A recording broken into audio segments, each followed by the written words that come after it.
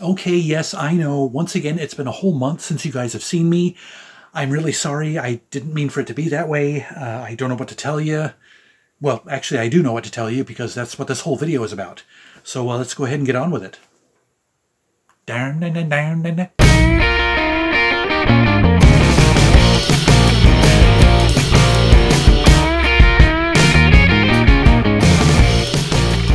one and all, and welcome to Tom's Hit Parade. By the way, I invite you to hit that subscribe button, give me a thumbs up if you like what you see, share this video with your friends, and leave me your thoughts down in the comment section. I'd really, really appreciate it. Yes, I'm still saying all that stuff because I still plan on putting out regular videos, hopefully at a more frequent clip than I have been this year. But uh, anyway, as I said, that's what this video is about. So uh, yes, this video is going to touch on a few subjects, but they're all pretty much related, so I hope it doesn't end up being an incoherent mess. But then that's the big reason I've written myself a little script to follow. Got my phone right here. Uh, first of all, yes, once again, it has been a month since I've given you all a video. That certainly wasn't my plan. Ideally, I'd be uploading a video at least once every two weeks-ish. That's kind of been my sweet spot, I've discovered over the years. But there have been a few factors that have played into my decreased output so far this year. My biggest hurdle lately has been motivation. Uh, the last few weekends, I've just felt like relaxing, listening to music, and snuggling with our cats. I'm not necessarily listing those in order of priority. Uh, I've got plenty of ideas for videos and still plenty of interest in doing them. But I learned a while ago that if I'm not in the zone for doing a video, it almost never turns out as good as I want it to. I figure most of my subscribers would rather watch fewer videos I've got my heart into than more videos where I'm phoning it in. Besides, y'all aren't paying anything to subscribe to this channel, so it's not like you aren't getting your money's worth. Uh, and by the way, that's one reason I just don't do Patreon or anything like that.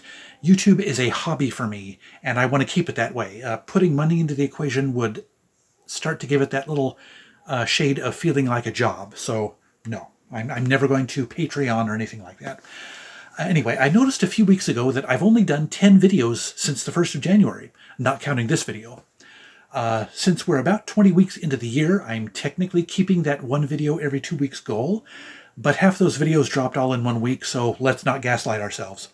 But yes, that's what's been going on. Uh, I've been healthy, family has been okay, no crises going on.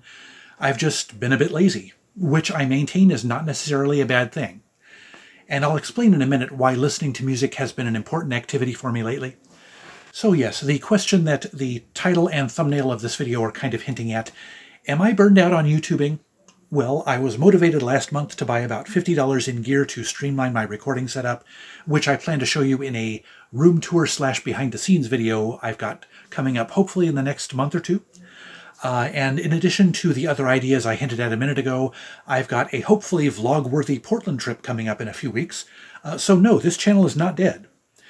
Having said that, though, I think I have been facing burnout of a different sort lately, uh, in terms of buying and listening to music. Uh, that's one reason why I still have yet to bring back my monthly What I've Been Listening to Lately playlist series, like I said I was going to at the beginning of the year. The other reason for that was the amnesia caused by the ice storm back in January, it threw me and my family for such a loop that I honestly forgot about playlist, as well as my Bargain Bag Hall of Fame video, which I also plan to bring you very soon. Don't get me wrong, I still love music. I mean, hello. Uh, I just haven't been listening to as much of it lately. Uh, I use my CD player at the office maybe half the time, and even at home I sometimes find myself opting for silence or white noise instead of music. But what really brought my burnout into focus was the ice storm, during those four days we were stuck at home with no power, I didn't listen to any music at all, even though I own a battery-powered CD player that I could have been using that whole time. What did I do during the ice storm? Mostly I sat and thought. One of the things I thought about was the size of my CD collection, nearly 3,000 titles, and how few of them I listen to regularly anymore. And it's continued to bother me in the three months since that storm. Another thing that's been bugging me just as much is my CD listening backlog. It's grown and shrunk and grown again, but it's been there in some form for probably three years, and only recently did I catch up on the stuff I bought during Noah and Alyssa's visit a year ago. It's started to feel like an albatross of sorts. Sometimes, just to shrink the backlog a bit, I'll take a handful of CDs to play at work, even when I'm not really in the mood for music, and even though I can't give music my full attention at the office. Perhaps the most annoying thing about that backlog is that I spend so much time and effort just keeping it from getting bigger, listen to a CD, decide if it's a keeper, put it in its place, go on to the next one, that I've been neglecting most of the rest of my library. And bringing home that filthy CD lot a couple months ago sure didn't make things easier. Cleaning them was kind of fun, and a few enjoyable albums have come out of that lot so far, but it wasn't nearly as rewarding in the end as I thought it would be. As you can maybe imagine, all of this is threatening to turn music listening into more of a chore for me than a pleasure. Obviously, that's the last thing I want. And it's sad that I had to let things get this bad for me to realize that I need to change my habits, at least until my listening backlog is down to near zero. The most obvious change will be scaling back on buying CDs. This will be tough, especially at thrift stores, since most everything there is a dollar each, uh, plus, as I mentioned, I've got a Portland trip coming up, and those stores up there are packed with temptation. I've made good progress lately in breaking myself of my completist tendencies, more on that in a minute, uh, so I'm pretty confident that I'll be able to refrain from expanding, just for the sake of doing so, the catalogs of any artists I'm not really, really into. But taking chances on artists unknown to me has paid off nicely from time to time, so avoiding those impulse deaf buys, as I call them, will be the tough part. Could I be missing out on a future favorite artist? More importantly, do I really need to know right now?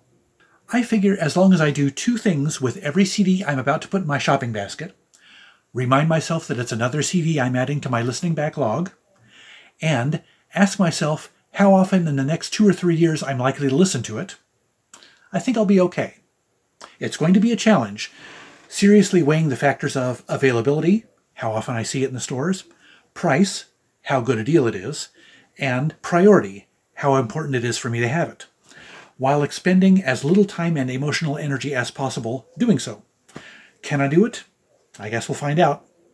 The other rules should be more simple to obey. No more grabbing free CDs just because they're free.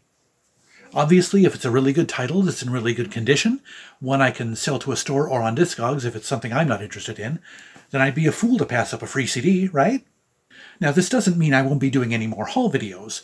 Uh, they're probably just going to be smaller and less frequent. And of course, once my listening backlog is back down to the single digits, I can loosen up these buying restrictions. Slightly. As the old saying goes, less is more, and it's about time I take that to heart. I need to embrace the concept of quality over quantity. And in the spirit of that mantra, I've just finished perhaps the most significant downsizing of my CD library I've done thus far. Okay, significant for me in this case means about 10%. That might not sound like much, but for the size of my collection, that means about 300 CDs had to go. I had little expectation of reaching that goal, but I'm happy and surprised to say that I slightly surpassed it. I used to like the idea of building a huge and comprehensive CD collection, but now that I'm getting older, I've been asking myself lately, in the years, well, hopefully decades that I have left, how much of my music library can I realistically expect to listen to and enjoy repeatedly? First of all, it's not like I can't stream an album I'll only feel like listening to once every five years or so. Also, I feel kind of selfish holding on to so many CDs that I feel ambivalent about, but that someone else out there might really want to have a physical copy of in their collection. I'm a little surprised at how quickly I went through this purge. It only took me about a week of my free time, so I hope I didn't go so scorched earth on my culling that I'll have any regrets.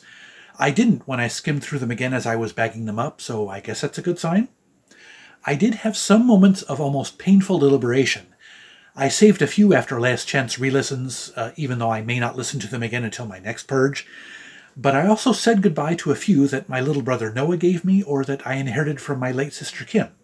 There's definitely a little guilt there, uh, but then I've still got plenty of CDs ones that I either got from them or bought myself because of them, that I enjoy a lot more and that remind me of them just as strongly, if not more so. I've also broken up a few artists' full studio album discographies Lady Gaga, Brad Paisley, and Tracy Chapman, just to name a few. As a recovering completist, uh, it's been fun having their full catalogs, but if I never go back to some of their albums, why keep them? And this may seem crazy, but even my listening backlog was not exempt from pruning. Yes, I pulled about a half a dozen CDs or so that I bought but hadn't even listened to yet. Mostly the impulse buy kind of stuff that I'd probably leave on the racks now, but nothing that I paid more than $3 for, so don't worry, I'm not throwing that much money away. To be clear, I don't begrudge anyone who has the space and money and passion for amassing a huge collection, whether it's music or other media or less practical collectibles of whatever sort. But I'm not jealous of them either. As I might have hinted at earlier, space is the biggest limitation for me. Many years ago, I had a lot more collectibles than I do now, but as music gradually took up more of my attention and more of my room, I had to make some decisions. Also, I've become a more practical guy in my older years. So when things like media that I can listen to and look at, and collectibles that have no real practical use, are fighting over the same space, and money for that matter, it's pretty obvious which one is going to win out. So I decided to unload most of my collectibles, except of course for the most personally meaningful ones.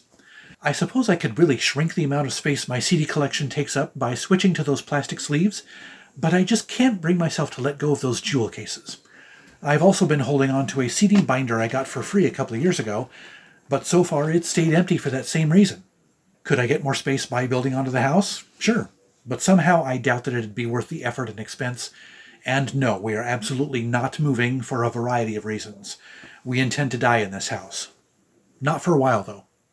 I'm totally happy in a smaller house, less cleaning to do, and honestly, I've missed very few of those collectibles I used to own. Plus, between my brother and myself, we've continued to come up with ways of making more efficient use of the space I have available.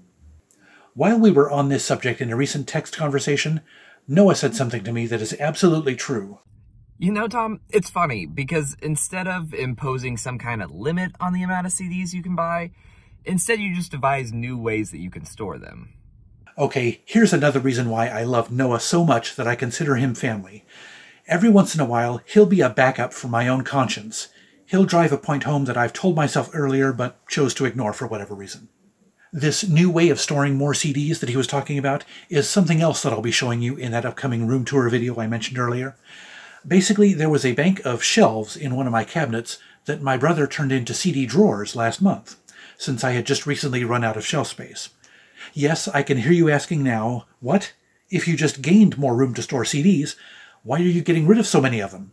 Well, not only for all the reasons I just laid out, but also, with luck, this purge will give my library a few more years worth of space to grow. I'd love for it to be many more years, not just a few, but, well, I know me. Old habits are tough to break, but I'm going to try my darndest. Like any clinical addiction, drugs, alcohol, tobacco, etc., you have to take it one day at a time and constantly fight off temptation. By the way, I apologize if it sounds like I'm making light of chemical dependency or comparing the consequences of buying a lot of CDs to the far more serious repercussions of substance abuse. That was absolutely not my intent.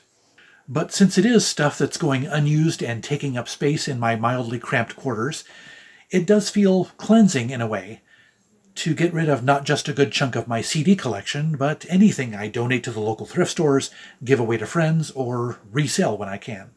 So, what am I doing with all these cast-off CDs? Well, first of all, I gave some friends a chance to pick out a few for themselves. Then I bagged up the ones that I thought might be of interest to either of the two local stores. House of Records bought a bunch, and I still have a few dozen to run by Epic Seconds. I plan on pulling a dozen or so of the more rare ones that are still left, and I'll take them with me to hopefully sell to the Portland stores for trade credit. Since they have a broader customer base, they may be willing to take the more unusual stuff that the Eugene stores would pass up. So far, it's netted me a tidy little sum, which I'll use for spending money on my Portland trip. And once I'm back home, I'll bag up all the rest and they'll be going to St. Vinny's. I did find a few that seem to be pricey enough to try selling them on Discogs, so we'll see how that goes. I just hope that I haven't overlooked the possible disadvantages of trimming down my CD collection. First of all, being a music YouTuber who prefers to talk only about albums that I own and to show them on camera, I'd hate for that to drastically narrow the field of what I talk about. But since that still leaves me with about 2,700 CDs, I don't see that being much of a problem. And I do plan on getting back to more frequent videos soon, as I said at the beginning. Uh, besides, it probably won't alter any favorites lists I plan to do, since CDs I would get rid of willy-nilly like this probably weren't favorites to begin with, now were they? The other big downside to this purge, and recent smaller ones, is that I'm considering just rebooting my whole darn CD collection video series, since it's now outdated. What do you think? I'd go through them faster, but invite requests for albums you'd like me to talk about in more detail? Thoughts down in the comment section? But I also discovered an unexpected advantage. I'm more motivated to listen to my CD backlog the smaller it gets. I mentioned earlier that I've been spending weekends listening lately. Well, since that interest has come back, I've been wanting to seize on it instead of making videos. I hope you guys can forgive me. Am I listening at a faster rate because as I see the stack shrinking, I've started seeing the light at the end of the proverbial tunnel? Or am I just anxious to find an excuse to ease those buying restrictions before I have to start obeying them? Whatever the reason, I'm not going to question it. But I am, really, I promise, I am going to try and curb my impulse buying tendencies going forward. Because I owe it to myself to revisit my entire music collection and remind myself why I bought all those CDs in the first place. And maybe, in order to stimulate more listening of my library, I can come up with some clever ideas for videos, something other than just regular run-of-the-mill album reviews. So many other YouTubers do those already, and I never thought I was very good at that. Uh, I know I can use the Discogs pick a random album function, uh, but if you have any other ideas, don't be shy. Toss them my way in the comments, please. But anyway, yes, that catches us up, I think. Uh, yeah, sometimes just talking about these kind of things helps me work my way through them, helps me get past them, even when it's talking to a camera and not a person.